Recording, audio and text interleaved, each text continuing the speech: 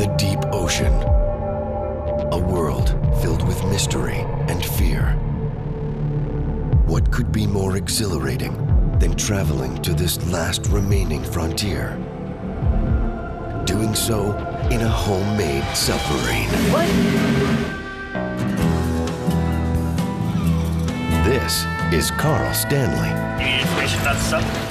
Any information about the sub? A most unordinary explorer. It's a shark's wet dream. who was just crazy enough to build his own submarine. Hello, Mr. Sharky. no training. Something almost like scary about this, like sinister. No funding. How do you test that design? Take it down. That's the cheapest option. No fear. How deep have you taken it so far? 2,100 feet. That's pretty deep. A view from below. There's only one other deep diving tourist submarine operation in the world besides the one that Karl has. Okay. The thought of going to 2,000 feet is still a little intimidating.